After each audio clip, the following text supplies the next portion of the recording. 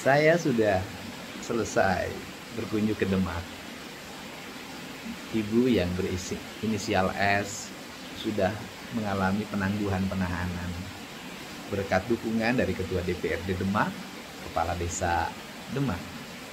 Saya tidak dalam posisi mencari siapa yang salah, siapa yang benar. Saya hanya dalam posisi panggilan batin saya, seorang ibu dan anak tidak boleh berkonflik, apalagi berujung di meja peradilan. Setiap orang pasti ada salahnya, setiap orang pasti ada cerita masa lalunya. Saya tidak akan mencampuri masalah-masa lalu dan salahnya. Tetapi yang saya inginkan adalah andai kata ada kesalahan masa lalu dari seseorang, sebaiknya tidak anak yang maju untuk berkonflik dengan ibunya. Tetapi sebaiknya pihak lain yang merasa berkeberatan terhadap perilaku dan ketidakpuasan seseorang tersebut yang melakukan proses gugatan, pelaporan, atau sengketa peradilan. Karena suami dan istri ketika berpisah ada kalimat mantan. Tapi ibu dan anak walaupun jauh ada kebencian, ada ketidakpuasan. Ada sesuatu yang di dalam dadanya sulit dilupakan. Tetap tidak ada kalimat mantan. Semoga semua pihak terketuk untuk saling memaafkan. Hidup itu indah, saling mengikhlaskan. Dan hidup adalah derita kalau saling membenci.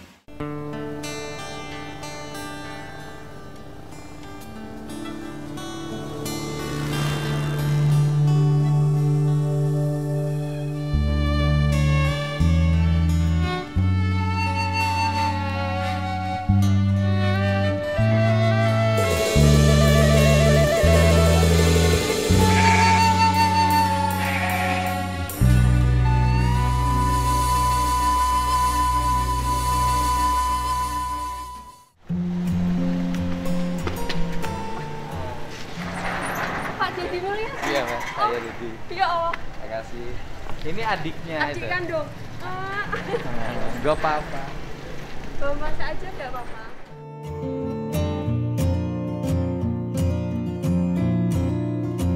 Ini kita udah nyampe di rumah ibu. Jadi rumah berkah, selamat. Ini langsung Pak Dedi eh, langsung dari Subang Jawa Barat ingin memberikan support kepada Jawa Tengah beliau peduli eh, malah terkait dengan Iya.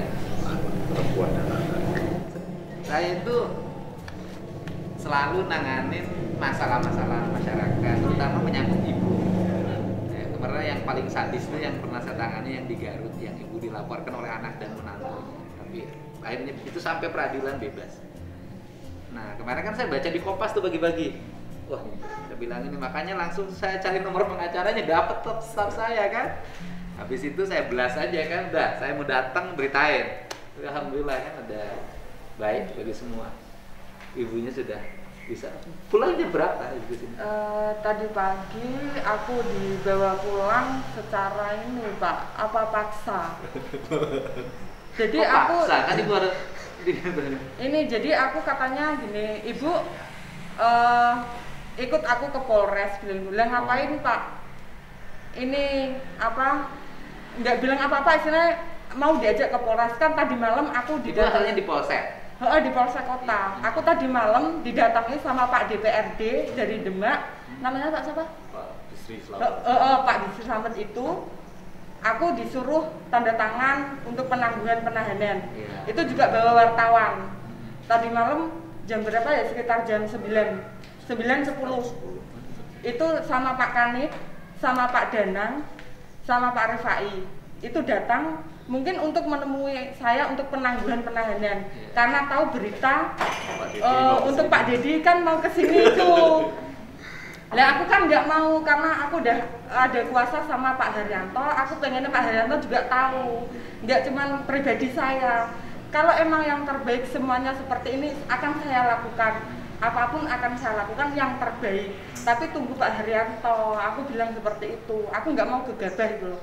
Nanti nak ada kesalahan apa apa kan aku nggak tahu masalah hukum ataupun apa kan aku nggak tahu. Akhirnya eh, selesai di situ pulang. Pada pulang aku bisa lagi.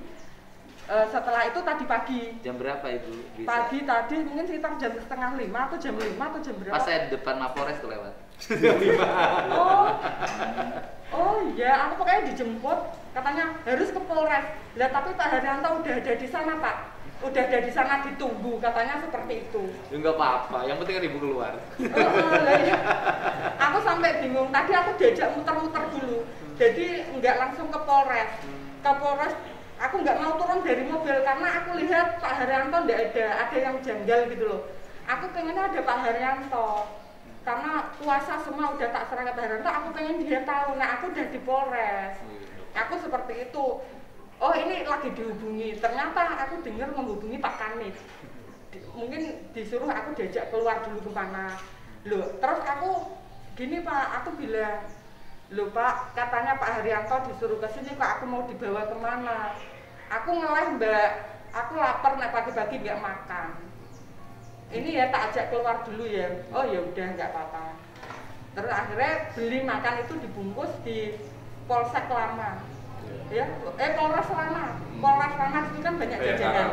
Bayangkara. Di situ. Terus bungkus. Akhirnya aku langsung di- diajak bablas ke sini. Langsung pulang. Jadi aku nggak tahu. Nggak diajak lagi ke Polres. Iya, ibunya sudah bisa pulang ke Polres. Dan pulang di dari Polsek terus pulang ke sini kan ditanya di Polsek ya. Iya. Prinsip dasar bagi saya, terima kasih loh Pak Ketua DPRD ikut Iya. support Pak Kepala Desa ya, ikut support ya pas datang saya ke sini udah bisa pulang ya alhamdulillah. Gitu. Yang sekarang tinggal satu lagi. Perkaranya jangan lanjut terus dicabut, capek. Gitu ya Bu ya. iya Saya kemarin Bu Mantap. sudah telepon sama anak dari ibu. partai Iya. dapat ngasih Pak Kanit disuruh ngasihkan Pak Lurah Hmm. tapi Lurah nggak jadi Ya udah, wis. kan tadi itu sebelum aku jam 5 udah sampai sini Pak jadi Penangguhan. Pak Kanit penangguhan terus Iya. Pak Repai sebelum Ini jam 5 sudah Pak Ada penangguhan, ya. Eh bapak pegang Iya. kalau penangguhan. sudah ada penangguhan. Nanti kita upayakan pencabutan, ya. Biar ibunya tenang. Capek loh urusan. Nggih, aku nggih capek, Pak. Eh, dari kemarin kan aku Anak-anaknya harus tenang. Nggih. Saya kemarin tuh telepon ada WA ke saya. Nggih. Katanya anak ibu Nggih. kuliahnya di Universitas Pertamina. Nggih. minta klarifikasi bla bla bla panjang lah Iya, ya iya, ceritanya iya. cerita ibu cerita bapak cerita kehidupan Iya. Eh, saya sih masa sih yang gini dia saya pengen klarifikasi karena merasa saya tersudut katanya gitu loh Iya, iya. atas ini saya. Kalau saya sih prinsip dasar satu saya bilang eh, saling memaafkan itu lebih mulia Iya. dibanding dengan terus-terusan saling menyalahkan apalagi ibu dengan anak. Urusan mbak ibu dengan bapak ada bekasnya. Suami itu kan ada mantan. Istri ada mantan. Tapi kalau anak kan nggak ada mantan. Gitu kita sambungin aja ya kita telepon iya boleh saya boleh boleh telepon anak ibu ya saya telepon ya Iya, iya. boleh. kalau yang anak ibu yang balita balita masih ada ya yang tiga Oh, tahun ya Iya, lima tahun. lima tahun eh, Ik- diambil paksa papanya tapi nggak tahu ke mana. oh. Jadi nggak tahu keberadaannya nggak tahu. asalnya anak ibu di sini yang diusul Iya di sini. Semuanya di sini. Dan terus eh, terjadi seperti itu langsung diangkut.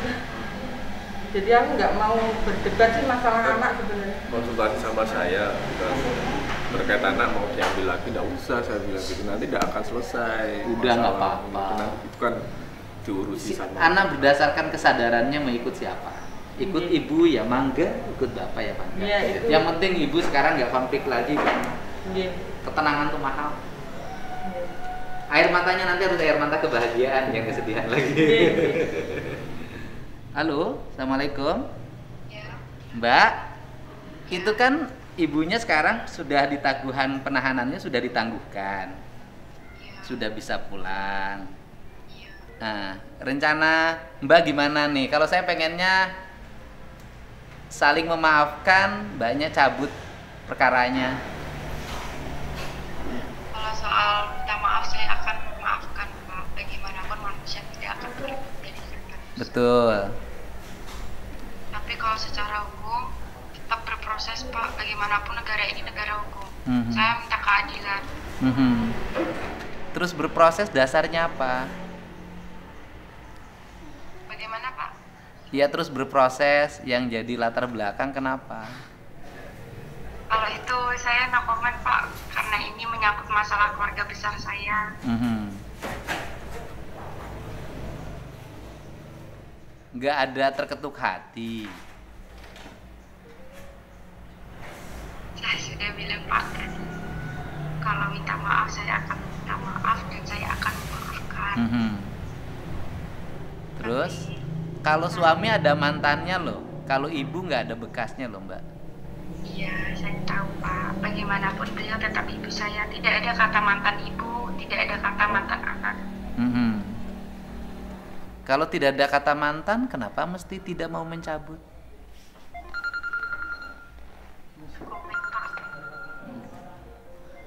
Jadi tetap ini ya, Iya, nggak mau cabut.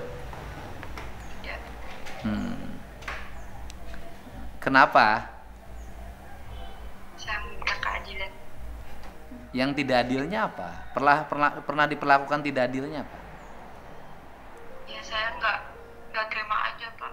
Yang nggak diterima apa? Perlakuan ibu saya. Apa yang nggak bisa diterima? Memberikan contoh yang tidak benar kepada anak-anaknya sehingga mengkhianati ayah saya. Apa itu? Adik-adik saya lihat Pak, sampai adik kecil saya bilang Kak, Mama sama Om itu sehingga saya waktu itu menangisi bapak saya. Oh, Saya nggak tega aja gitu, saya merasa bersalah. hmm. oh itu yang menjadi kenapa nggak mau nyabut? Iya. Jadi saya korban tapi disudutkan. Oh, biar nggak saling disudutkan lebih baik dikelirkan. Iya Pak. Saya Iya. akan memaafkan dan saya minta maaf. Mm-mm. Mm-mm. Kalau biar nggak disudutkan, ya saling memaafkan, selesai, cabut perkara, masing-masing saling memaafkan. Ini harapan saya loh. Iya. Lukanya nanti terlalu panjang. Iya Pak, karena berita juga tidak benar. Ya nanti kan bisa saling klarifikasi. Iya saya. Ya bisa saling klarifikasi, saling menjelaskan. Ya, saya nanti bantu kok beritanya untuk diluruskan. Bisa nggak? Ayo, masa yang cantik nggak bisa? Ya? Saya masih keberatan Pak. Masih Tetap keberatan. berproses. Oh iya. Jadi itu masih keberatan tetap berproses ya. Iya, tapi saya akan tetap meminta maaf dan Mhm. saya akan memaafkan. Ya kalau memaafkan dan meminta maaf nggak dicabut ya nggak maafin. Permohonan maaf dan meminta maafkan itu kan dengan menyelesaikan perkara, Mbak. Nggak seperti itu juga Pak. Oh. Nggak harusnya kalau yang sakit hatinya karena itu yang lapornya bapak, jangan Mbak. Karena ini saya, masalah saya juga Pak. Oh. Gitu. Maksud saya gini loh, kalau kalau yang ininya kan yang di apa ya, yang luka itu. Kalau yang luka itu saling maafin. Ya mudah-mudahan nanti bisa kepikiran sehari dua hari ini ya, anak baik ya.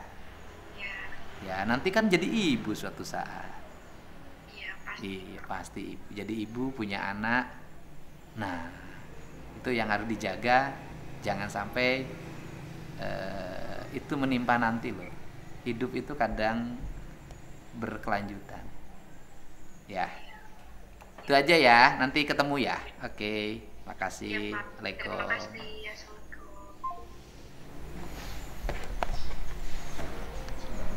Ya. Saya nggak mau. ya, maaf. ya tuduhannya itu ke saya juga kemarin cerita itu. Makanya saya dengerin ke ibu. Iya, ya sebenarnya itu sih gimana ya untuk hubungan rumah tangga saya dengan suami saya itu udah eh, gantung selama empat tahun. Hmm. Jadi saya nggak dicerai, nggak diapa-apain, istilahnya dia itu semena-mena dengan saya Oh enggak, enggak ngasih nafkah nah nafkah untuk anak masih masih. Tapi untuk kebutuhan misalnya gini anak tiga ya. Itu naik dikasih 3 juta karena proses aku ngajuin perceraian rata ya itu nggak terimanya di situ. Sebenarnya di situ nggak terimanya. Karena saya udah digantung lama itu loh pak. Empat tahun. empat tahun. Soalnya yang namanya rumah tangga udah nggak harmonis nggak nggak sejalan nggak sehat. Itu kan pengenku diselesaikan baik-baik tapi ternyata dia nggak mau akhirnya aku untuk mengajukan perceraian itu dia tahu dari anak saya. Yang tadi itu awal mulanya juga baik-baik saja dengan saya. Yang ke hotel itu aku ngajak anak-anak gak mungkin saya berbuat seperti itu. Jadi gimana ya pak? Ini hatiku yang sebenarnya ya pak ya? Itu nggak benar. Dia cerita yang ngajak itu dia. Yang ngajak dia mah ayo kita jalan-jalan ke villa sama om ini bilang seperti itu sama om ini ayo. Terus mama mending cerai saja sama bapak. Ini anak saya ndak mungkin gini loh pak. Yuk sekarang dia ikut papai kan mungkin sedikit eh, gimana tetap dia membela papahnya. Yo seburuk apa pun saya dan papahnya harusnya dia nggak nggak seperti ini. Lah di tengah mau ada cekcok seperti apa itu hanya orang tua anak eh, tetap kita pikirkan ya pak ya anak tetap jadi apa tanggung jawab orang tua. Tapi kan harusnya nggak nggak menganiaya saya. Saya awalnya didorong pak. Aku didorong sampai aku jatuh. Lah tanganku itu refleks minta ini loh gini. Dicambak. gini. Jadi refleks narik gini ternyata kena di pelipis kiri itu luka 2 cm lah terjadinya Lukanya dari? di pelipis kiri. Dari apa? Dari kuku. Oh, ibu. kuku. Jadi aku gini tangan kan misalnya aku kan refleks gitu ya. Misalnya nggak tahu pokoknya sak sak nyekele istilah sak nyandek itu.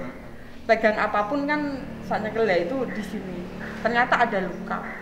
Lah setelah itu aku dilaporin ke Polres.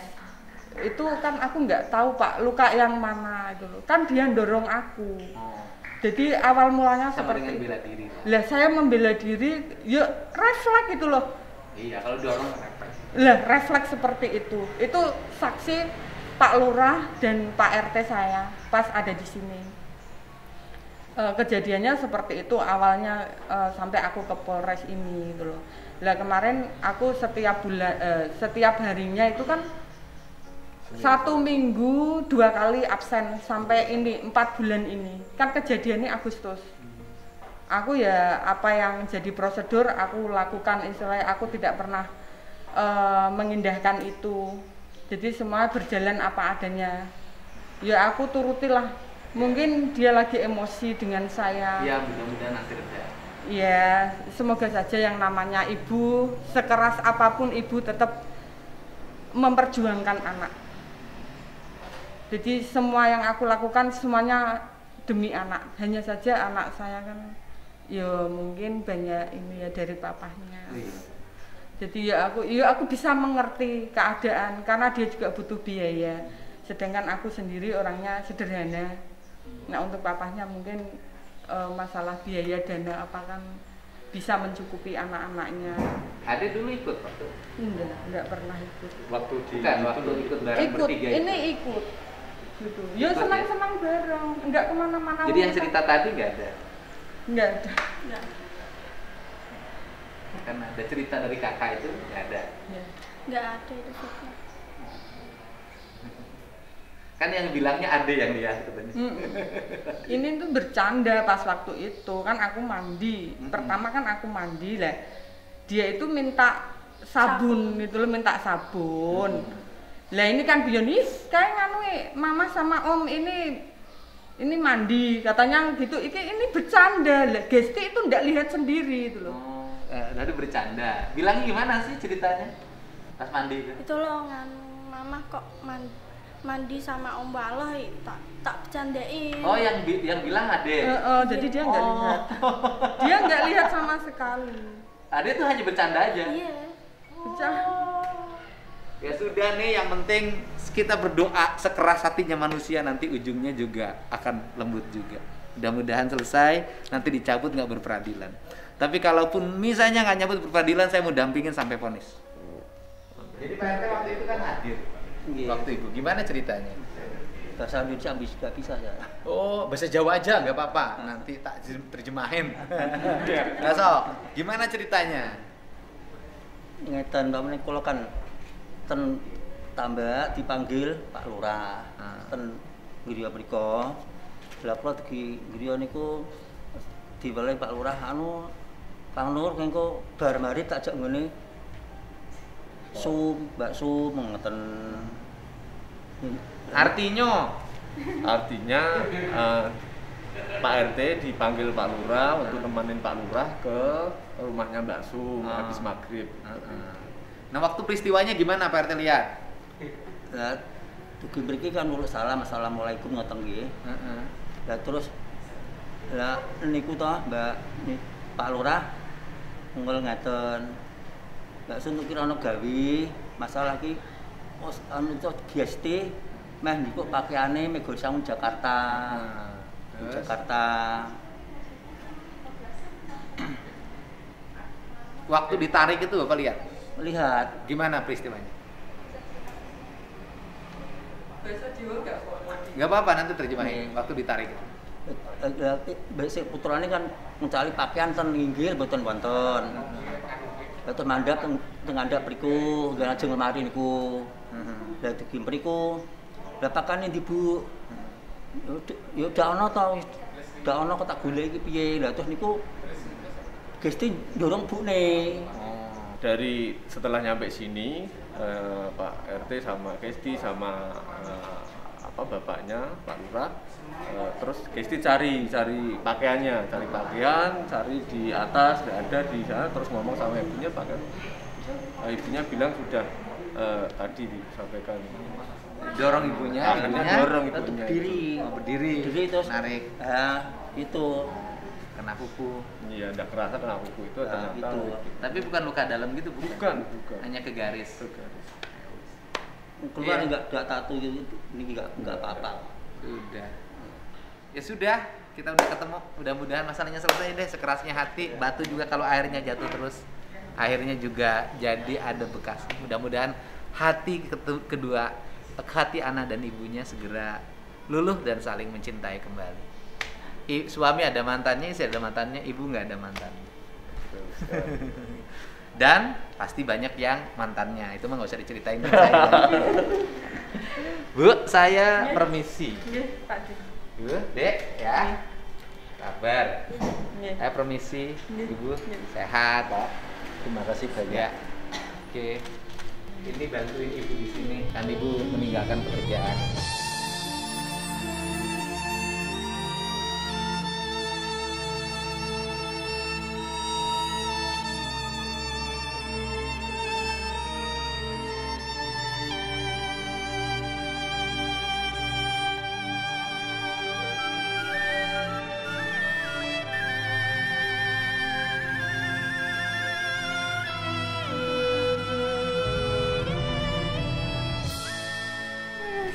Sama-sama. Terima kasih atas dukungannya. Iya. Mohon maaf, saya ganggu Ibu pagi-pagi. Iya, Pak. Makasih banyak. Semoga lekas selesai ya, Pak. Kami selesai. Insya Allah saya bantu kok. Udah tadi udah cerita. Nggih. Deket tempat saya ke sini cuma tiga jam setengah ternyata. Kasih. Induk lembur pandinengan wasilah